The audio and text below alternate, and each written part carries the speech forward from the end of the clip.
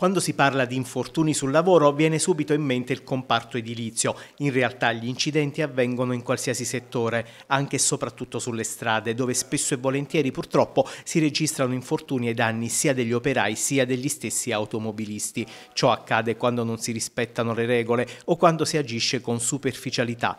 Per evitare tutto questo, la Cisla Abruzzo Molise ha organizzato un incontro a Isernia per dare una serie di suggerimenti e indicazioni utili agli addetti ai lavori, ha spiegato il segretario Giovanni Notaro. Si continuano a contare incidenti e infortuni sul lavoro, sia che siano essi lavoratori addetti magari a fare proprio cantieristica, quindi noi abbiamo coinvolto la nostra federazione degli edili, siano essi autotrasportatori, quindi c'è la categoria dei trasporti, autisti ma anche capita ancora a autisti in generale, quindi cittadini.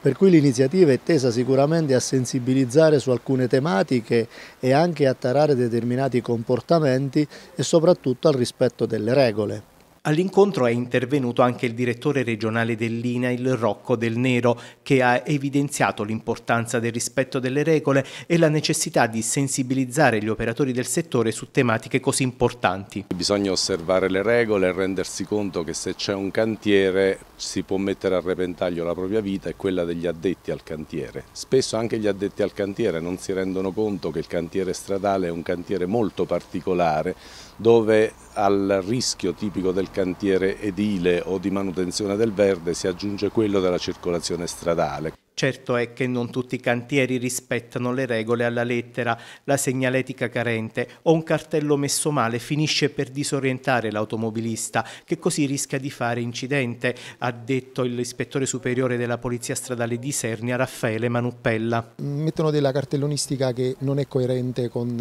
eh, con il luogo eh, e quindi è, crea turbativa eh, notevole al, all'utente della strada che arrivando sul luogo del, del cantiere diventa titubante. Abbiamo delle statistiche che evidenziano che i cantieri stradali, essendo una turbativa alla circolazione, effettivamente creano quel minimo di turbativa e quindi sono eh, con causa nell'evento infortunistico.